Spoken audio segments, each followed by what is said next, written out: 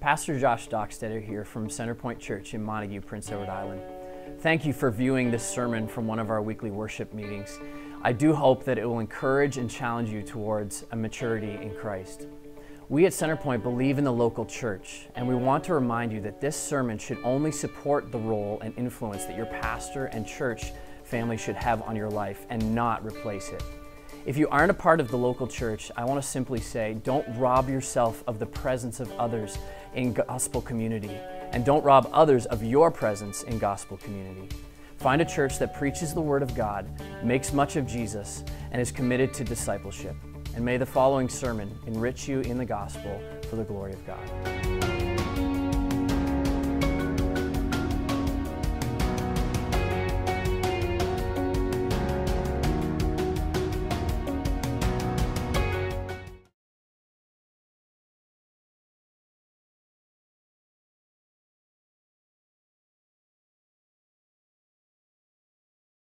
Well, if you have your Bibles, we are going to turn to Matthew chapter 6, verses 19 to 21.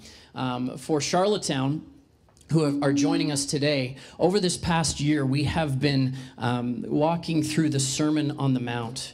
Uh, probably, well, the greatest, arguably the greatest sermon ever preached, and that is by our Lord and Savior, Jesus Christ when he preached through Matthew 5 to 7, he preached this sermon about what kingdom life looks like in the world. How is the gospel lived out?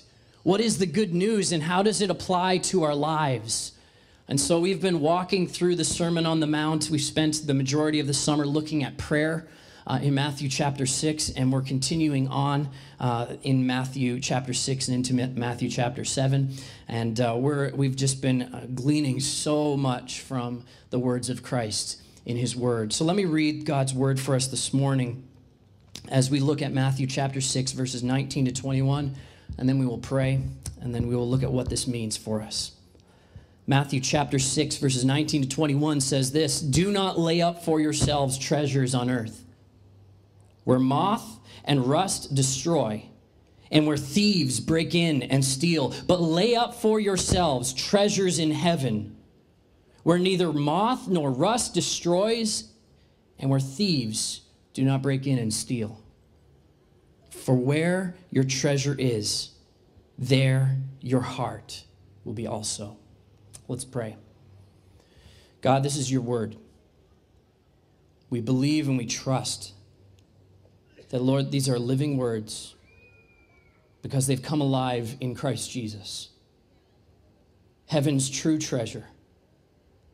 And Lord, we ask that in this day, you would open our hearts and our minds to what you have to say to us for the glory of who you are. In Jesus' name, amen. Jesus promises true riches, true treasures. Now, I want to say to you something this morning that might seem a little odd for it to be coming in some ways from me. Jesus and I want you to be rich. Now, before you think I'm heading into prosperity theology, and before you start thinking, oh, great, now I can go buy that lottery ticket because Jesus wants me to be rich, um, uh, let me explain what is being said here. Jesus and I want you to be rich. Think about that for a moment. Let that fill your thoughts and your minds. What does that look like for you? When you think of riches, do you think about money? Do you think about possessions? Are you thinking about fame? Uh, do you think about having friendships and deep relationships? What does that mean for you? And I would argue for you this morning, perhaps what riches means for you is not so much the things that they are represented by, the money, the stuff, the possessions. Rather, what is it? Rather, maybe it's those riches that we call riches, maybe it's what they mean to us that we value. Total satisfaction. See, in our world today, Rich is code for happy, having what you want, having what you think it is you need. And we are prone in this world to use things for security, for comfort, for power, for significance. What we're really looking for, I would argue, in our earthly treasures, in our definition of rich, what we're looking for is happiness. If I just had that one thing, I would be happy. If I just could get this, get there to where that person is, I would be happy. Are we happy? Are we happy by the things that we pursue? And even if you could say yes, yes, I'm, I'm actually quite happy where I'm at right now. I'm happy with the life that I've led. I'm happy with the way that I've lived my life. I'm thankful for the things I have, the relationships I have, the family. Even if you could say yes to that, I am happy. Is that happiness for you secure? Is it secure? And is it really happiness if it isn't? If at any moment that could be taken from you? If at any moment the relationships you have, the possessions you have could be taken from you by something that maybe happens this afternoon or tomorrow or next week? Is that really happiness? See, but we believe in this world that happiness in this life is about getting, and not just getting, but keeping what it is we get. It's about attaining and maintaining happiness. And these are the cause of so much anxiety and worry. So much anxiety and worry comes down to this the things that we think will bring us happiness either we don't have or we can't keep. We don't have or we can't keep. Because the things that we think will bring us happiness, well, even when we get them, we realize they're not enough. And they don't last. There's something that always evades us. Something that always evades us. And the reality is, we don't have the whole picture on what true happiness is. So we go from one thing to another, looking for happiness, looking for treasure.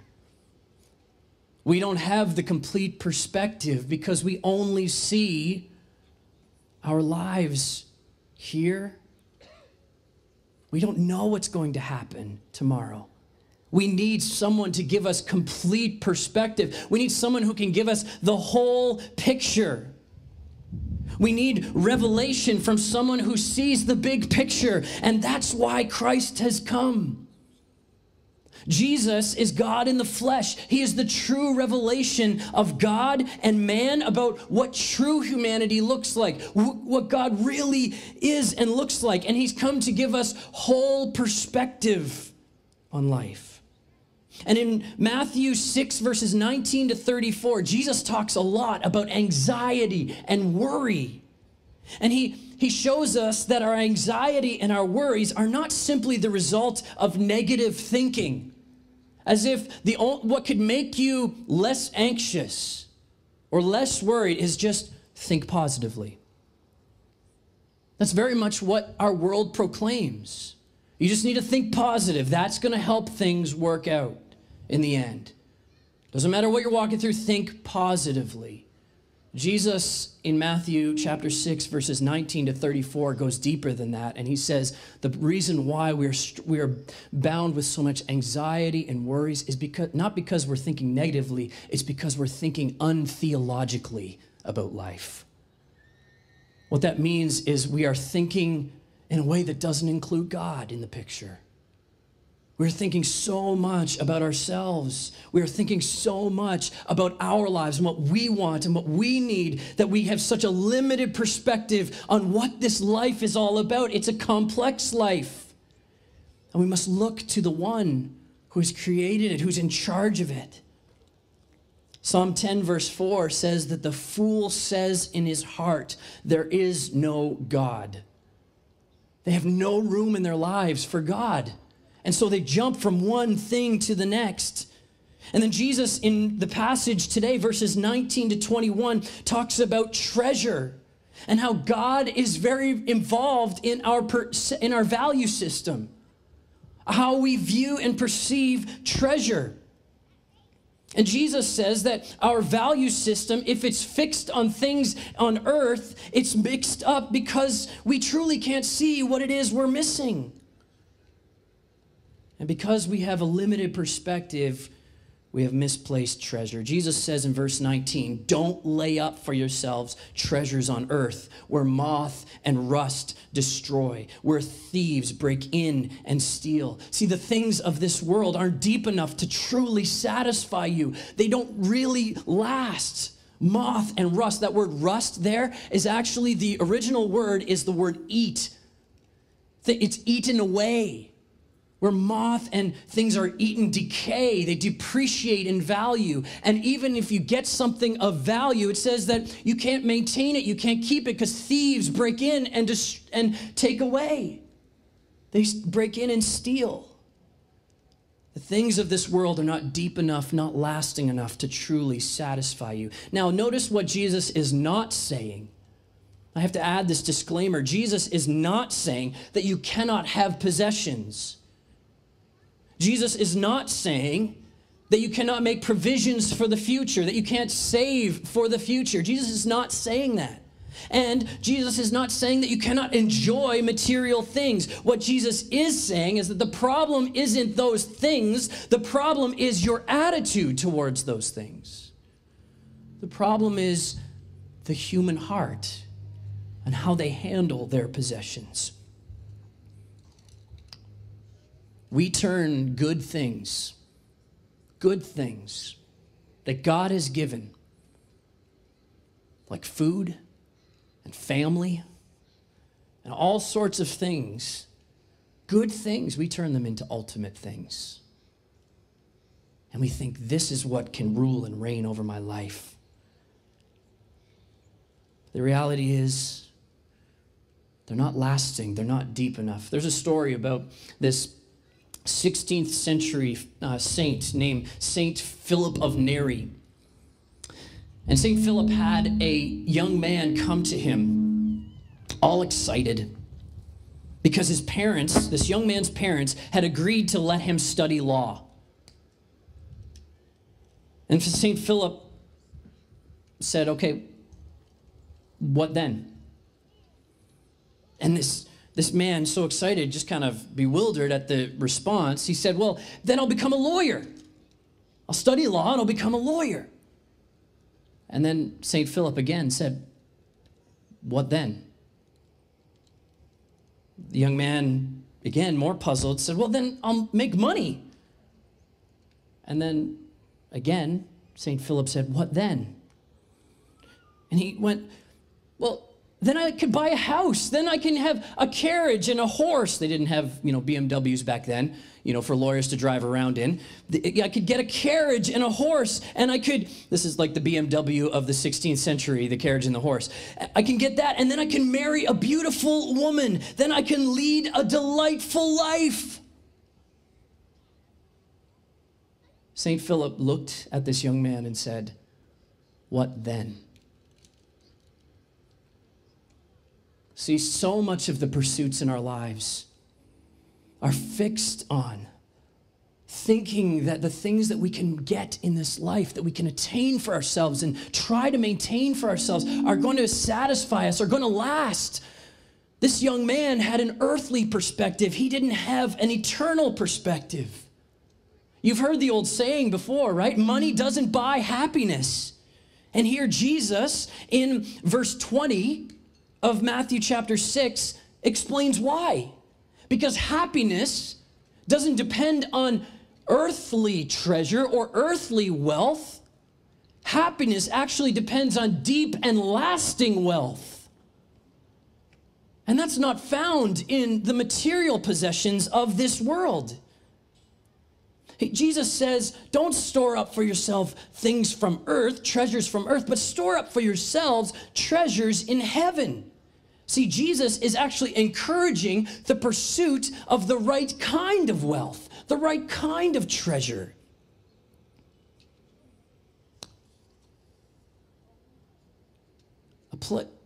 the treasures that moth and rust and thieves cannot destroy or take away or depreciate the value of.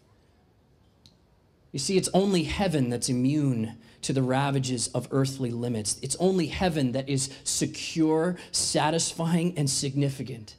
Peter says this in 1 Peter 1 4. He says, There is an inheritance for those who believe in Christ. There's an inheritance kept in heaven for us that is imperishable, undefiled, and unfading. Think about that for a moment, friends. How often we get something and we're so excited about it, and the next week or the next month or the next year or a couple years down the road, we just think, Oh, it's gotten old. I'm talking about something that is unfading, imperishable, that will not lose its appeal. See, when Jesus looks at our pursuits and our treasures, I don't think he finds that we value our treasures as value the pursuits as too much, but rather as too little. They're actually less than what can truly give us satisfaction and significance. How is this possible? Why? Why is heaven so different? Well, it's because of what is absent and what is present. There's something absent in heaven, and there's something present there. And there's something absent on earth in our lives, and there's something present here. What is present in our lives and in this world is something that limits us. It narrows our perspective. It causes us to treasure limited things above their intended use. It empties ourselves for the sake of self. It separates us from one another and from God. It depreciates in value, it eats away at us.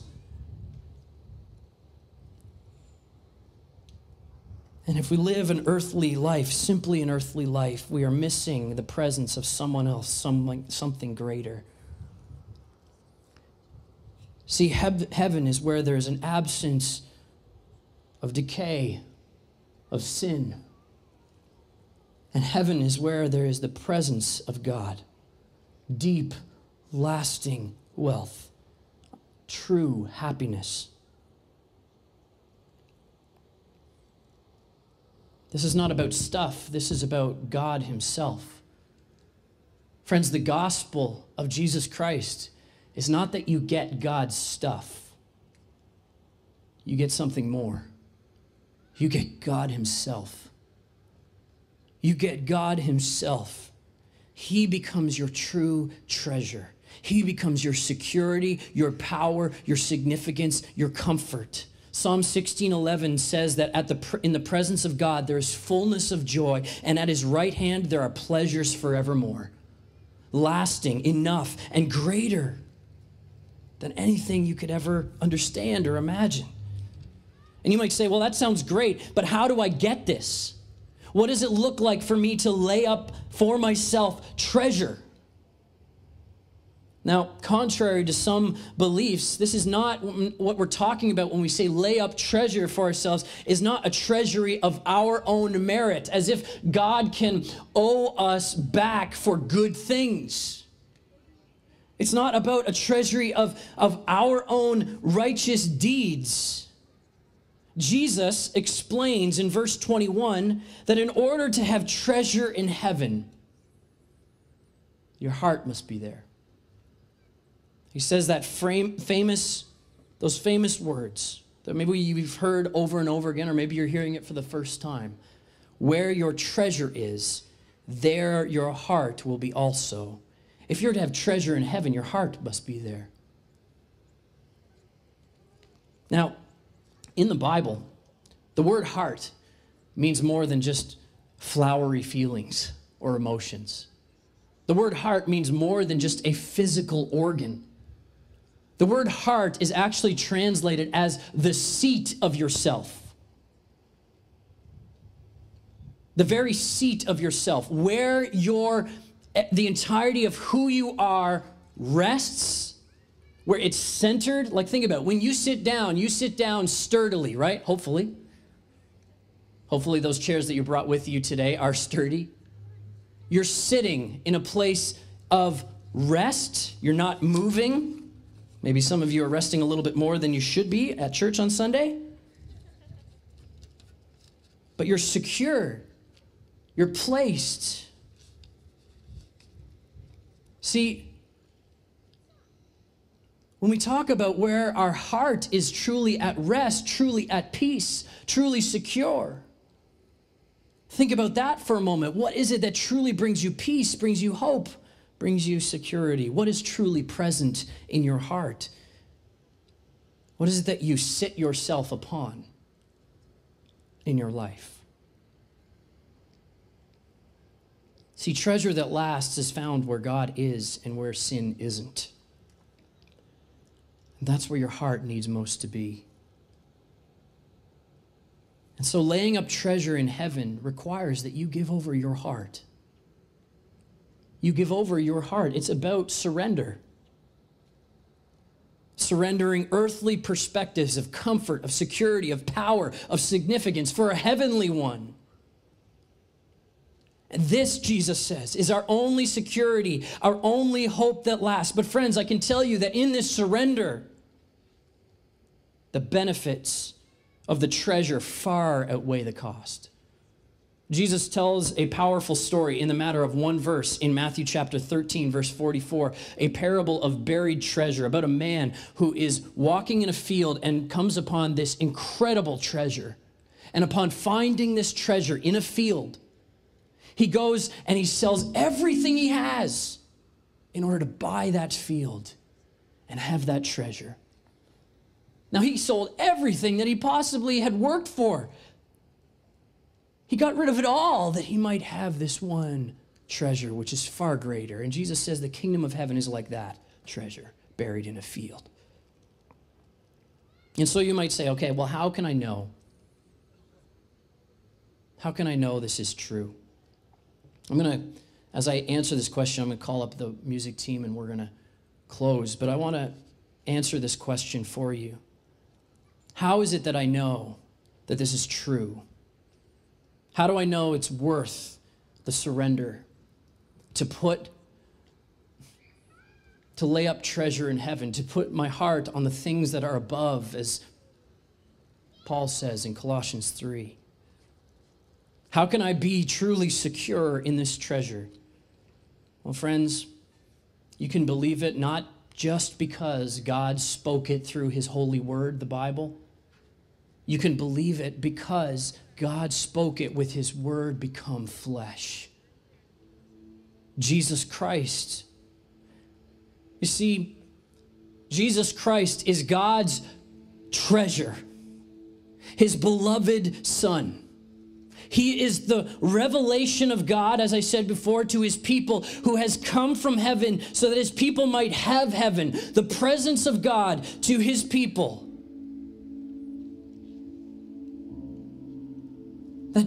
We who are in Christ might have the presence of God with us and that we might have sin removed from us. That's true treasure. That's true treasure. And in order to give you heaven, Jesus Christ surrendered his heart, he surrendered himself. And he took your sinful heart upon himself. All of the moth, all of the rust, all of the things that eat away at you have eaten away at him. And he's taken upon himself the thievery, the destruction of your wretched, sinful heart. He's taken that upon himself. And on the cross, the full presence of God and sin came to a head, and God overcame sin on that day. And on the cross, true love was displayed, true power, true justice, and the grace of God. And it met with the destruction the decay, the offensiveness, the putrid reality of sin. That Jesus on the cross reveals how messed up my heart is, that I can't save myself. That Christ on that cross proclaims that Josh Dockstetter needs a Savior and needs a Lord.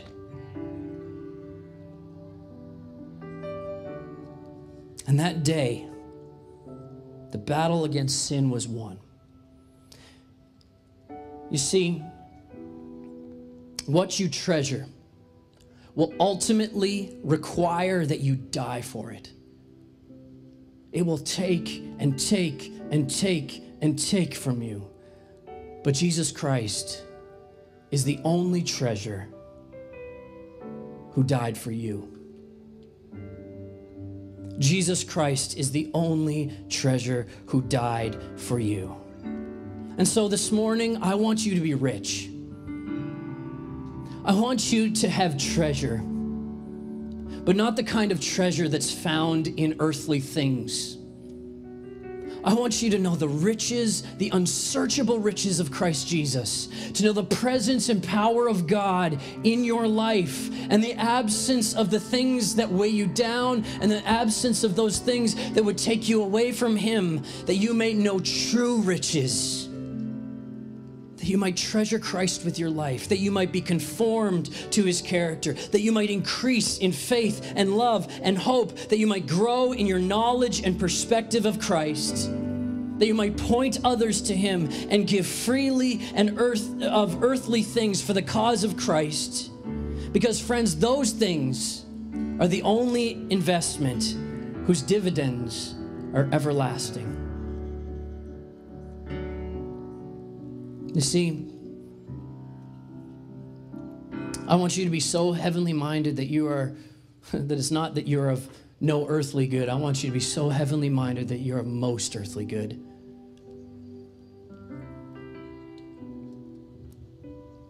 And it's found in the person and work of Jesus Christ, our Savior and Lord. If you don't know Him today, if you don't know Jesus as Savior and Lord, why not treasure Him? Why not open your heart to Him that you might know Him and believe and grow in faith and trust of our Lord? Will you pray with me? Oh God, the things of this world are not enough to satisfy our our deep hunger, our deep needs. And Lord, heaven is a place where you are present. It's a place where true love of God is found. Heaven is not a place for those who are scared of hell. Heaven is a place for those who love God. And Lord, we proclaim to you that it's your love, it's your compassion, it's your kindness, God, that leads us and opens our heart to love you. And so, Lord, we pray that on all these things, you would be honored and glorified and lifted up in our midst. In Jesus' name, amen.